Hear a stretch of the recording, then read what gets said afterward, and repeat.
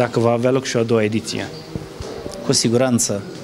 Um, dovadă stau mulți ani de administrație publică. Atunci când m-am apucat de ceva, am dus până la sfârșit. Iar uh, acesta este un început și pot să spun că este un mic început, pentru că există posibilități enorme uh, analizate cu foarte mare atenție, numai că perioada a fost destul de scurtă, sunt primar doar de aproape 10 luni de zile, iar în 10 luni de zile a trebuit să ating toate problemele acestei comunități sociale, uh, care sunt cele mai importante și apoi să mergem și în zona culturală.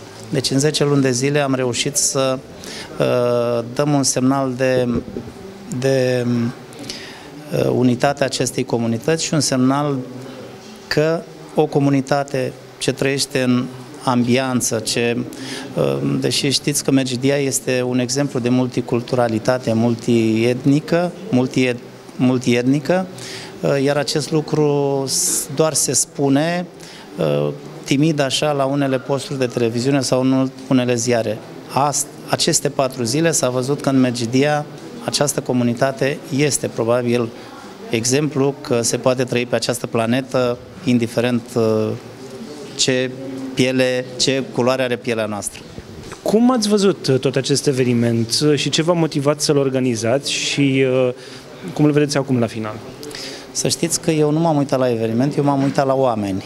Iar chipurile oamenilor mi-au spus mie că, sau cel puțin asta am înțeles eu, că uh, a fost probabil un moment zero de unde Mergidia se va remonta, Mergidia are valori, Mergidia are potențial, Mergidia are un potențial uman fantastic și o dorință enormă a oamenilor de a-și recâștiga demnitatea.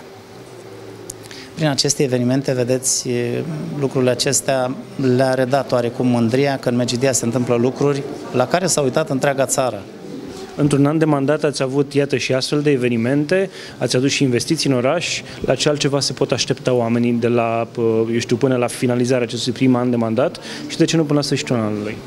Uh, sunt multe proiecte, să spun, pentru Megidia, sunt pe categorii de probleme, categorii sociale, categorii uh, ale acestei comunități.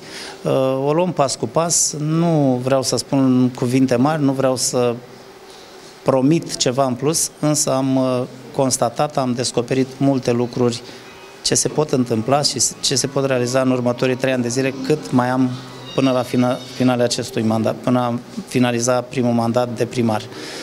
Uh, sunt într-adevăr, uh, mă rog, suntem foarte aproape de a arăta că și latura economică a Mergidiei va fi resuscitată și cât de curând se va întâmpla acest lucru și este probabil uh, momentul în care Mergidia va redeveni Mergidia de altă dată.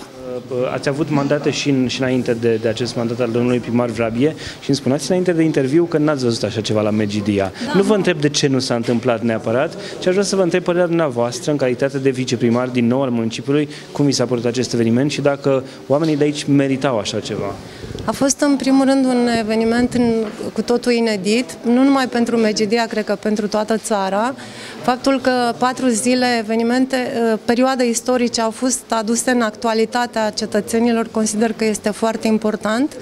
De asemenea, uh, bucurie am văzut pe fețele tuturor cetățenilor noștri, pe, tuturor, uh, pe fețele tuturor megidienilor și nu numai, oameni din toate locurile din acest județ au fost aici. Ne-am bucurat că am putut să realizăm acest eveniment alături de colegii noștri, în special de o echipă tânără și dornică să arate că există viață în Megidia și că se poate trăi frumos în Megidia cu zâmbetul pe buze. Eu sunt foarte bucuroasă că pot să trăiesc acest moment uh, alături de colegii mei și de domnul primar. Îmi spuneați că, într-adevăr, uh, vă spuneam de fapt și îmi spuneați și dumneavoastră cum de nu s-a întâmplat lucrul ăsta la Megidia. Da, din păcate nu s-a întâmplat, dar toate au un început și mă bucur că există acest început acum când uh, sunt și eu alături de echipa acea, uh, aceasta care conduce Megidia. Cum, uh, cum ați văzut reacția oamenilor? Sunt convins că i-ați văzut pe stadion, i-ați văzut în jur aici. Cum, cum au reacționat? Ce v-au spus în toate aceste zile? Toți au fost bucuroși să, să vadă aceste manifestări și să fie alături de noi sau i-am simțit mai aproape ca niciodată. Eu cel puțin, spuneați că am mai fost în conducerea primăriei, nu i-am simțit mai aproape niciodată dată. De ce te-ai ocupat în aceste zile la, la Megidia? Într-o calitate de suflet. M-am ocupat de uh, istorie, nu singur, e adevărat, m-am ocupat de istorie alături de profesorul dr. Uh, Costin Scurtu, directorul Muzeului uh, Militar Național uh, Regele Ferdinand I din Constanța. Am fost alături de partea istorică a festivalului. E adevărat că am avut și mici incursiuni pe scenă, dar asta, asta a fost să fie vorba aceea.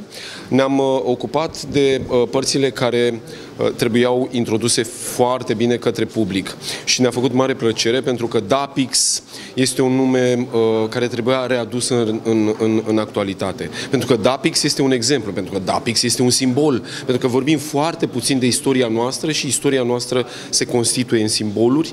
DAPIX este un basileu getodac care n-a acceptat uh, uh, stăpânirea romană, care a luptat împotriva stăpânirii romane și care s-a sacrificat, deși alți vecini de-ai lui au găsit soluții mai bune, retrăgându-se sau plecând cu averile. Dapix a rămas aici, a luptat și a pierit. Astăzi, în timp ce uh, arheologii, istoricii caută cetatea uh, de, uh, de scaun, ca să-i spun așa, cetatea lui Dapix, Uh, este o situație frumoasă pentru Medgidia care intră în istorie și uh, se încarcă uh, în aceste zile cu aceste simboluri. E frumos și în toate aceste zile ale festivalului nici n-ar trebui să vă povestesc tot. Pentru că toți oamenii care au venit aici, zeci de mii și eu vă spun cu mâna pe inimă și nu o să mint acum, n-am mințit niciodată, în toate aceste zile ale festivalului, numărul celor care au călcat în stadion și în taberele din jurul său